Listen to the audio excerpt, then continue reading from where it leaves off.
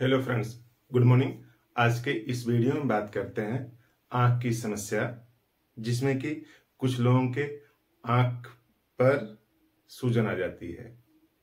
उसका कारण क्या है?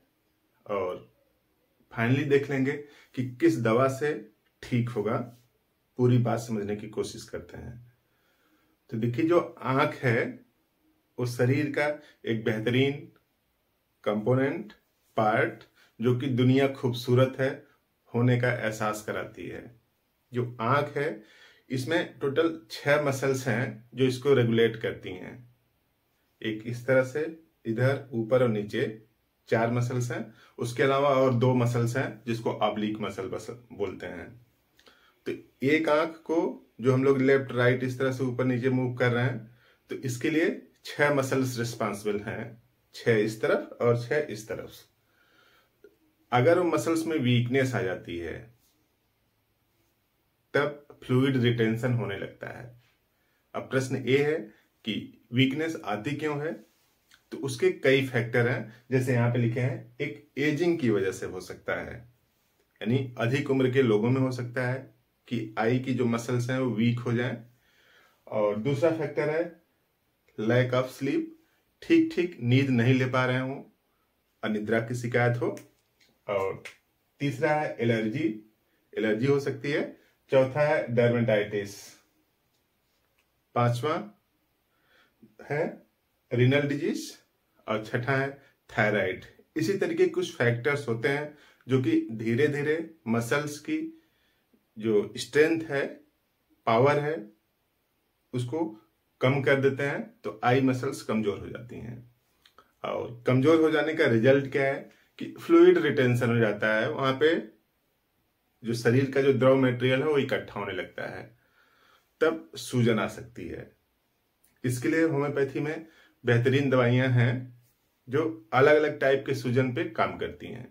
जैसे अगर ऊपरी वाले पलक में सूजन है, चाहे दाएँ हो या बाएँ, ऊपरी वाले पलक में अगर सूजन है तो उसकी मेडिसिन है काली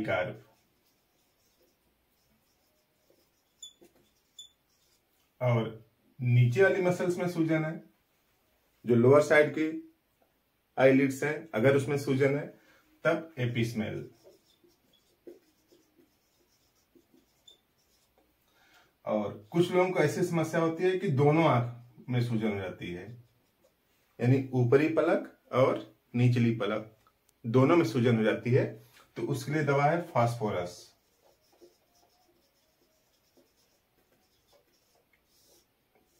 तो जिसको जैसे सूजन है, अपर में सूजन है तो अलग मेडिसिन, नीचे वाले में सूजन है तो अलग मेडिसिन। और ऊपर और नीचे दोनों सूजन है तो एक तीसरी मेडिसिन। तो इस तरह से आप सूजन को कम कर सकते हैं। लेने का तरीका सिंपल सा है, अगर जिनको ऊपरी पलक में सूजन है तो काली कार थर्टी पावर के लें चार बूंद सुबह में, केवल एक टाइम। फिफ्टीन डेज़ तक लीजिए। समस्या से निजात मिलेगा। और अगर निचली आँख में सूजन है तो एपिसमेल थर्टी, इसका भी चार बूंद सुबह में। केवल एक टाइम लेना है। और दोनों में सूजन है तो फास्फोरस थर्टी पावर की ले लीजिए। इसका भी चार बूंद सुबह केवल एक टाइम।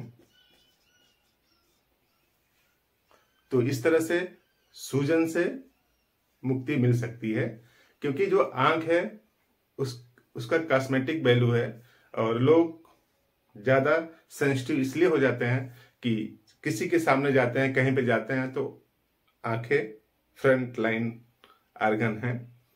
तो खराब लगता है तो कॉस्मेटिक प्रॉब्लम भी है, और उसके साथ साथ एक बीमारी भी है तो उसका इलाज इस तरह से संभव है। तो किसी दोस्त की फरमाइश पूरी हुई और इसी तरीके के और बेहतरीन वीडियो हैं इस चैनल पर। आप उनको देखते रहें, जानकारी बढ़ाते रहें, बीमार होने की संभावना को थोड़ा सा हम लोग कम कर सकते हैं। तो आपने पूरा वीडियो देखा, जानकारी अच्छी लगी। Thank you